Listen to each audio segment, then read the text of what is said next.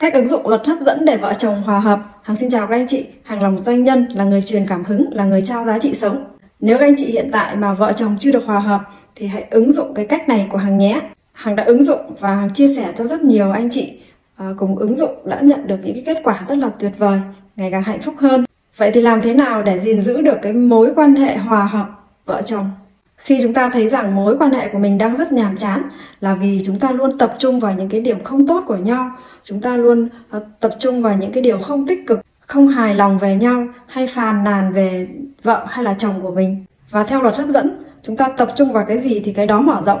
Chúng ta cứ tập trung vào những cái điều không tích cực thì luật hấp dẫn nó lại càng thu hút đến với mình nhiều hơn. Thay vì như vậy, chúng ta hãy thực hành theo 3 bước sau. Bước 1, bạn hãy ngồi xuống viết ra ít nhất là 10 điều biết ơn viết 100 điều biết ơn càng tốt viết cho đến khi nào mình có cảm xúc, càng có cảm xúc nhiều càng tốt. Chúng ta hãy nghĩ lại những cái điều mà mình cảm thấy biết ơn ở họ, những cái điều tuyệt vời ở họ, cũng như những thứ tuyệt vời mà bạn nhận được từ mối quan hệ đó. Ví dụ như là chồng tên là nam chẳng hạn, thì chúng ta hãy nghĩ lại ngày xưa chúng ta ờ, đến với nhau, yêu nhau như thế nào. Và viết xuống và viết tên người ấy ra, nam. Em biết ơn vì anh đã đến sưởi ấm trái tim khao khát yêu thương của em.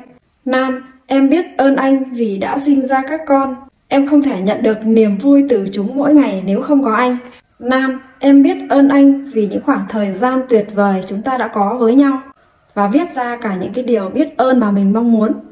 Ví dụ như là Nam, em biết ơn anh vì anh luôn yêu thương và quan tâm đến vợ con. Bước 2, hãy nhìn người ấy bằng ánh mắt yêu thương, biết ơn và thật nhiều cảm xúc.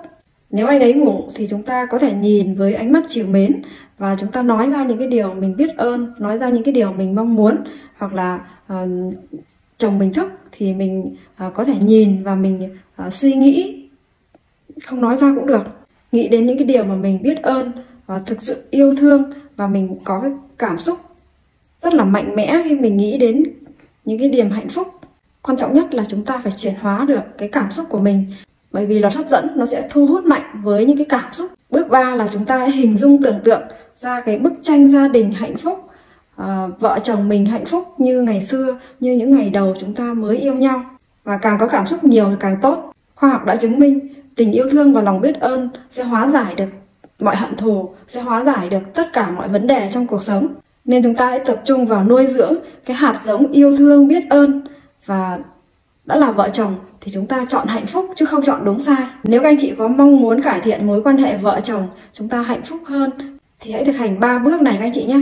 Và các anh chị có kết quả, hãy bình luận dưới video này và nhấn vào link dưới avatar của Hằng để tham gia nhóm học tập. Hằng gửi tặng các anh chị nhiều bí kíp hơn nữa và hãy follow kênh của Hằng để à, nhận được nhiều giá trị hơn các anh chị nhé. Xin cảm ơn cả nhà.